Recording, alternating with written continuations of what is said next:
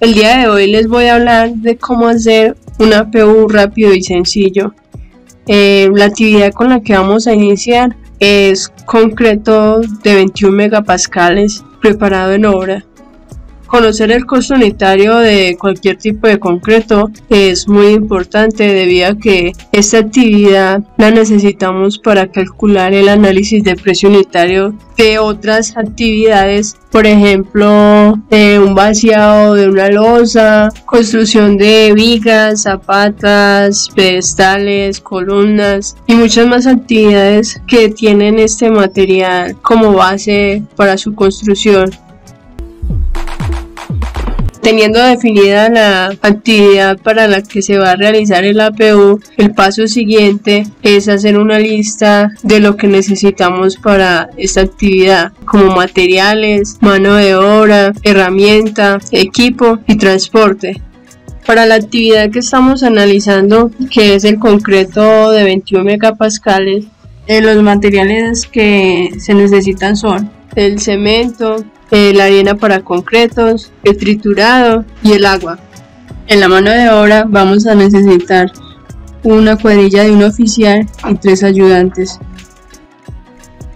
En la herramienta menor se requiere palas, coches y canecas vacías para transportar el material.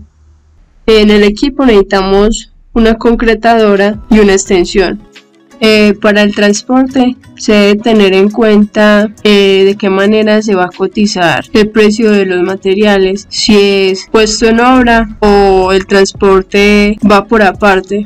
En este caso lo vamos a trabajar con los materiales puestos en obra. Eh, tampoco se va a incluir acarreo interno como este APU se necesita para el cálculo de el precio unitario de otras actividades, entonces la idea es incluir todo el transporte eh, como es acarreo interno en la obra eh, dentro de esa actividad que tiene como material el concreto de cualquier tipo.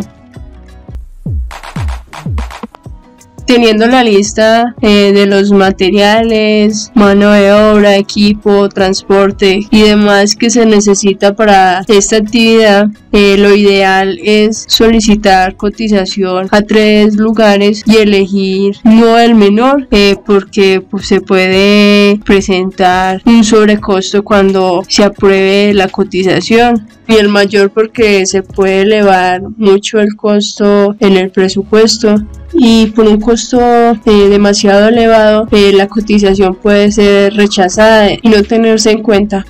La mano de obra eh, se puede calcular por rendimiento si se sabe el costo de la jornada de cada trabajador o también se puede cotizar por actividad. Lo ideal es cotizarla por actividad debido a que el rendimiento puede variar dependiendo del trabajador y se puede presentar un sobrecosto eh, al momento de realizar la actividad cuando ya se apruebe el proyecto.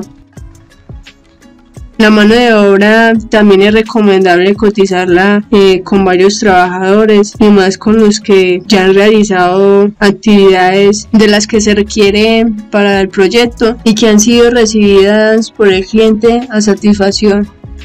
Eh, ya teniendo elegidos los precios con los que se va a trabajar, el paso siguiente es calcular las cantidades para realizar el APU.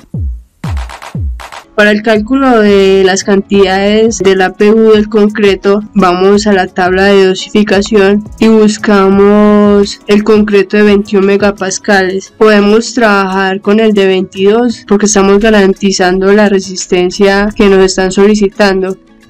Tenemos para este una relación 1, 2, 3 por 1 de cemento, 2 eh, de arena y 3 de grava nos dice que para llegar a la resistencia de 22 megapascales necesitamos 350 kilogramos de cemento, 0.55 metros cúbicos de arena y 0.84 metros cúbicos de grava. Los litros de agua son 170 en promedio.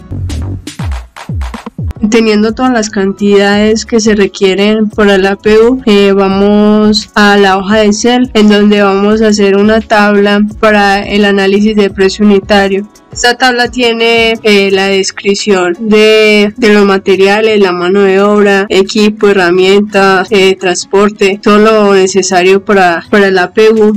la unidad de cada uno de estos insumos, la cantidad, el costo y el subtotal. El subtotal es la cantidad eh, por el costo que sería el valor unitario para cada uno de estos insumos.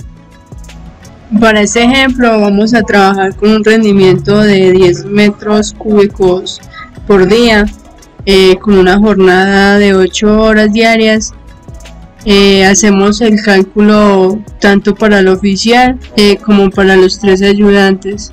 la herramienta menor tenemos que es el 5% eh, del valor de la mano de obra eh, y el equipo eh, que es la concretadora y la extensión. para este caso es la misma cantidad de la mano de obra debido a que es el tiempo que se demora preparando un metro cúbico de concreto en este equipo y en el total tenemos la suma de los materiales, la mano de obra, la herramienta y el equipo.